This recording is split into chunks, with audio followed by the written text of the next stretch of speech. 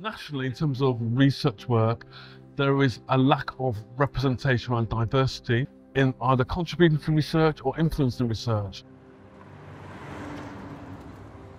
That's why we run these roadshows in northwest London. The aim of the project is to encourage diversity in research. And it's only by getting people involved in research that we can actually also improve health outcomes for black and minoritized communities. The ARC, otherwise known as Applied Research Collaboration, aims to accelerate the pace that we get research into practice. The whole point of the ARC is to get, when we've got researchers, how do we work with our different colleagues, could be NHS, could be local authority, could be communities, could be voluntary sector organisations. And one of the big areas that we've worked on is this project, the ICS REND project. The REND programme aims to tackle the underlying causes of health inequalities by engaging local people in conversations about the barriers to health. One of the reasons community engagement has become so important now is because of COVID. COVID really highlighted to us the health inequalities between different demographics. We know that COVID disproportionately affected Black and Asian individuals. So it's really important for us now to work with our communities to build relationships, to build trust so that people feel that they can come forward and access health and social care research.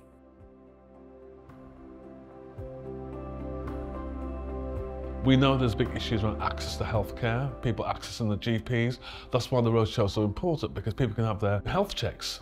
We're here doing BMI checks, blood pressure checks and providing them with loads of advice and resources so they can look to improve their health based on test results. I think the impact of the health checks today and any other day at the roadshows is huge. There's always been this talk of personalised care because when people have these health checks, it does make the patient feel more involved. Northwest London is a really important area to do research in because the population is so diverse. When we look at nationally at the demographics across England and Wales, we see that on average we have about 80% white population. But here in Northwest London, with our 2.4 million residents, some of our areas have populations that are 50% black, Asian and ethnic minority. So if we can get it right for Northwest London, we can get it right for many other urban areas in the UK.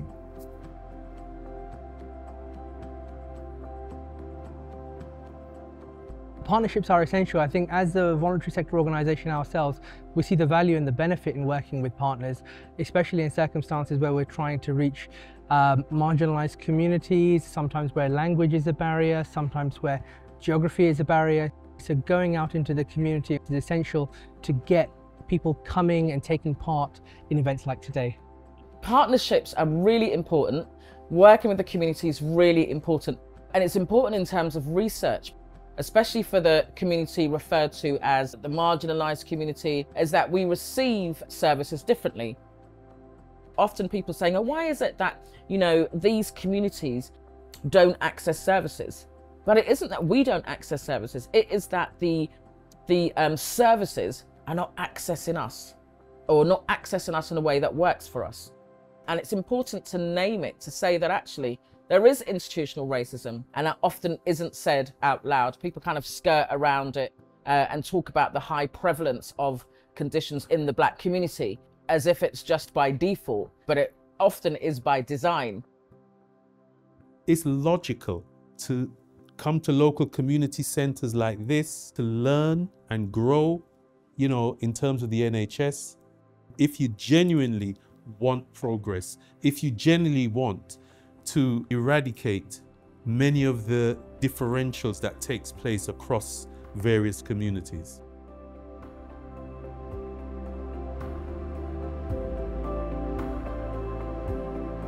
The Research Heroes study is a study that has been co-designed with champions like Haja here, um, who is from the Northwest London area. They have co-designed this research study along with Imperial College London to find out the barriers for underserved communities connecting and reaching research.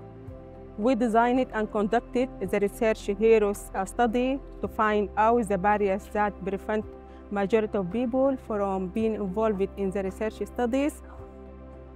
We uh, interviewed a large sample of the community who are underrepresented and some of the barriers uh, like language, uh, literacy, uh, mistrust, and even uh, people uh, complain that they cannot understand uh, the complex and difficult uh, medical terminology. The study is really quick. It's just a survey. It takes around 10 minutes and it's available in over 11 different languages. And we hope we can start to use the data from this study to really create change locally for communities and how they can access uh, research and the type of research that's taking place for them. Research is key among our community so we can share our views, we can share our concerns, making sure that the services are shaped to our needs rather to the universal needs. So researching will bring us enough data um, to know what the community is looking for. The motto for the roadshows is health in your hands because we want to put the health in the hands of our residents and our patients so they feel empowered and more importantly build the confidence of people. We're coming to the end of the programme, so we aim to do about 20, and I think we're going to come up with about 22 roadshows in the end. 1,600 people have come, which we are very happy with. Of those 1,600 people, 600 have had a health check. And also of those 1,600 people, 800 have completed a questionnaire. There's some historical context that prevent people trusting researchers and that creates a real barrier. But by having that blended approach of community partners and clinicians working together, we break down those barriers.